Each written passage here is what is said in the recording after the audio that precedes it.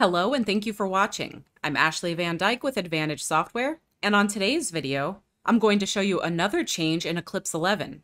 And that is, starting in Eclipse 11, custom splash images now use PNG files. They previously used JPG files, and so this is a bit of a change. Let me show you. Right now, I'm at my desktop background and I'm going to open up Eclipse. Currently, I have the default background, which is just the diamond. However, as always, you are able to change this, but in Eclipse 11, it is a little bit different. Eclipse 11 now looks for a PNG file instead of a JPG file. And so on my desktop, I have an image that I'd like to use as my Eclipse background. It's the same as my desktop background. However, this file, if you look, has the file extension of JPG instead of PNG. So what I'm going to do is right click and I'm going to choose open with and I'm going to just choose paint. This image is now open on my screen in paint and if I scroll you see that this is a very big image. And so what I can do is go to file, save as, and instead I'm going to choose a PNG copy. So I'll choose PNG picture and I'm going to choose to save this to my desktop.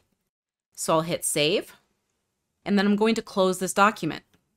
So now I have the original eclipse11.jpg and the identical but different file type eclipse11.png. Next, I'm going to open up Windows File Explorer. Next, I'll open Windows File Explorer. And I'm going to go to the install location of Eclipse, which is C drive, Program Files x86, Advantage Software, Eclipse.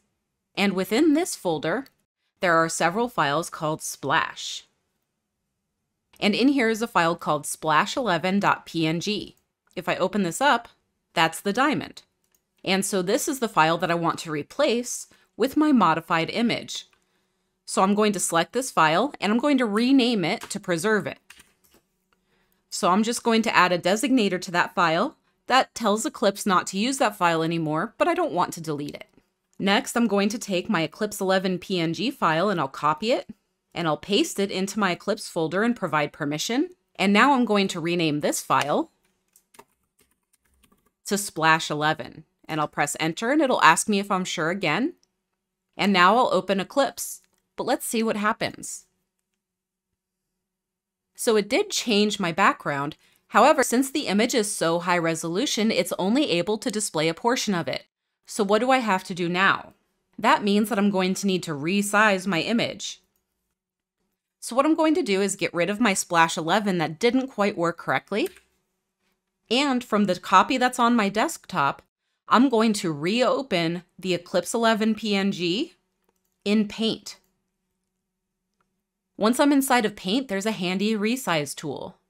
There are a couple different ways that you could approach this. You could incrementally move the file down until it's a good size for you, or you can just kind of cut it down to a size that you know will fit. If you're going to do that, the default size is 800 pixels by 600 pixels. And so as I set the horizontal pixel size to 800 pixels, and as long as you have maintain aspect ratio checked, when you adjust one of these options, it will also auto adjust the other.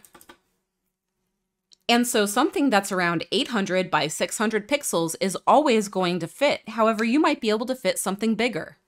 I'll press OK, and I'll save this image. Next, I'll take the smaller Eclipse 11 PNG, and I'm going to put that into my Eclipse folder.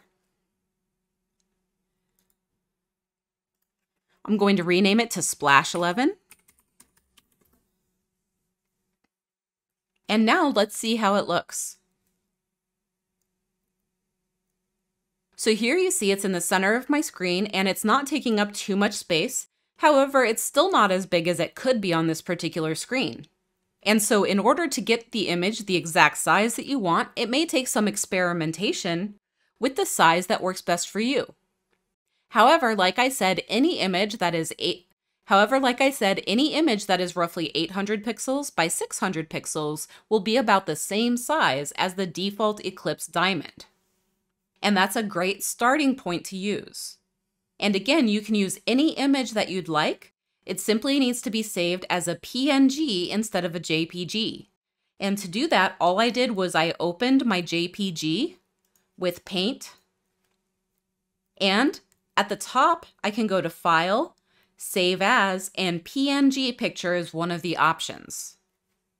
So it doesn't matter what kind of image you have, you can always just use Paint to save it in the correct format. However, if you have more advanced software like Photoshop or GIMP, you can also use those. Just keep in mind that once you have the file the right size, in the right format, you're going to have to put it under C drive, Program Files x86, Advantage Software, and then Eclipse. And don't forget that for Eclipse 11, the splash image should be called splash11.png. Don't forget that Advantage Software offers anytime support. Tech support can be reached with any question, anytime, including weekends and holidays, at 772 288 3266. Email support is also available at support at eclipsecat.com. Thank you for watching this video. Please hit the thumbs up button, subscribe to our channel, and turn on notifications so that you'll be notified when we publish new content in the future. Thank you so much and have a great day.